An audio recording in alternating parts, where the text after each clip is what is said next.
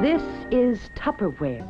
The one way to buy Tupperware is a fun way. At a Tupperware home party, where you can see it demonstrated and order the Tupperware you need in fresh sun, sea, and sky colors. You can freeze it, stack it, any which way.